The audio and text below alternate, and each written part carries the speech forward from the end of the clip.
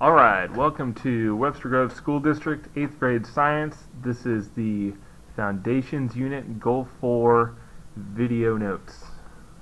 Our goal here is to clearly communicate data using graphs. In order to meet this goal, students will be able to represent data in a graph. In that graph, you need to show your title with your independent and dependent variable in the title, your data is on the correct axis with the correct labels and you have correct units and scale and you're able to explain the relationship between the two variables. The notes here are going to cover these three things. Um, this last one, this part right here, this will be covered in class as well as how to predict data. Okay, so we're going to primarily look at this chunk of the goal here okay? So here we go. In order to in order to put this into context I'm going to give you a brief study. So here's our question. Does the type of liquid affect the dissolve time of Alka-Seltzer some of you may be saying what's Alka-Seltzer here here's an old school commercial to remind you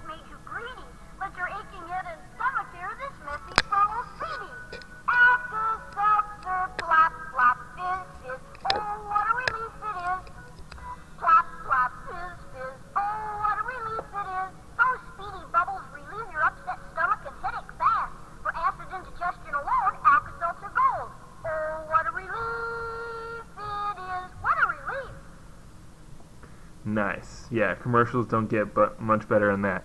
I think that one is actually older than I am. So, but that's Alka-Seltzer. It's the tablets that you put into uh, liquid, and they fizz and they bubble. They give off carbon dioxide gas. Okay, so looking at does the type of liquid, all right? So type of liquid, that's our independent variable.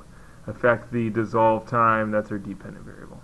Okay, so let's look at this. For a good graph, we're going to need five things. The first thing is you're going to need the title with the independent and dependent variable in the title. So that would be like the effect of the type of liquid on the dissolved time of Alka-Seltzer.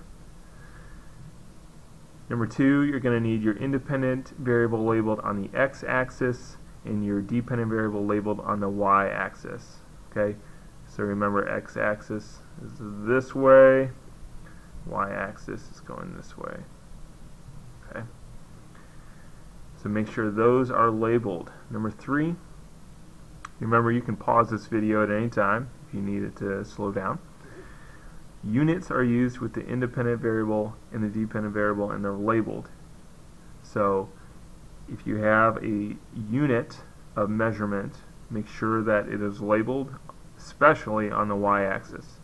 Um, you won't always have units with your independent variable, but almost all of the time you'll have it with your dependent variable.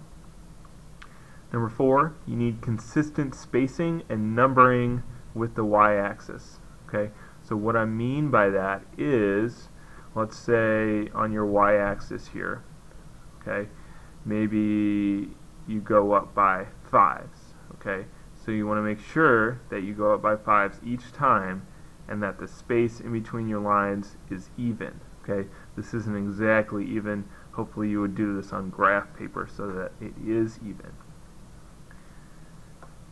The fifth one, if you have multiple trials or data sets, make sure to only graph the mean.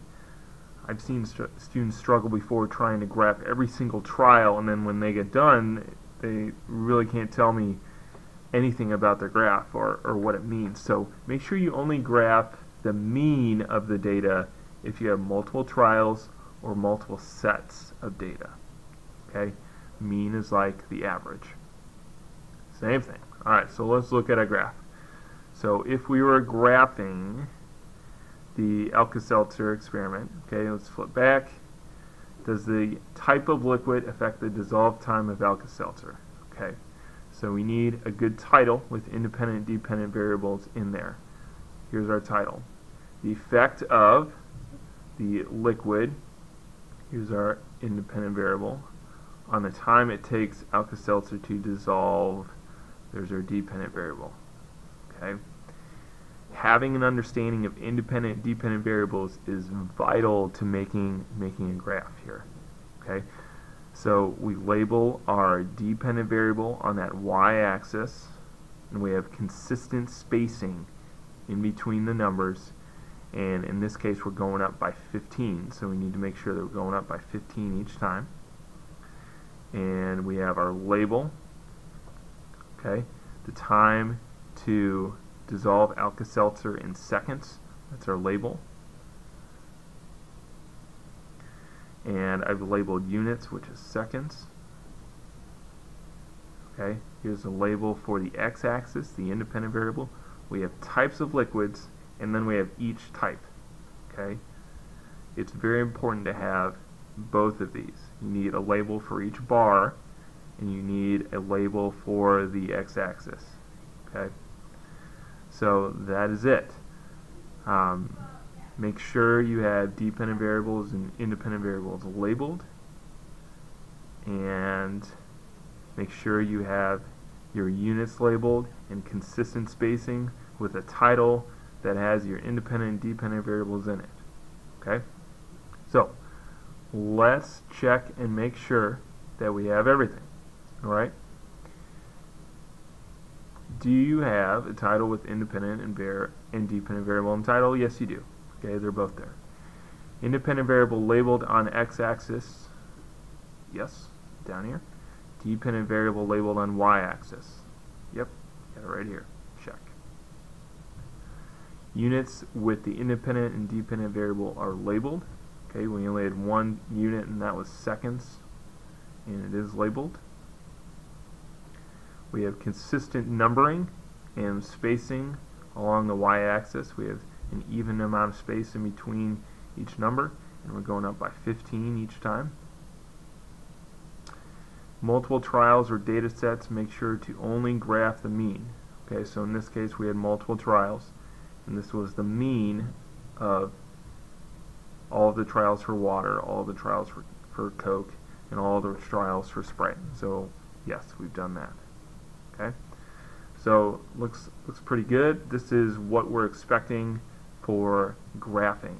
Okay, so bring questions and uh, bring any anything else you got to class tomorrow, and we'll practice graphing tomorrow.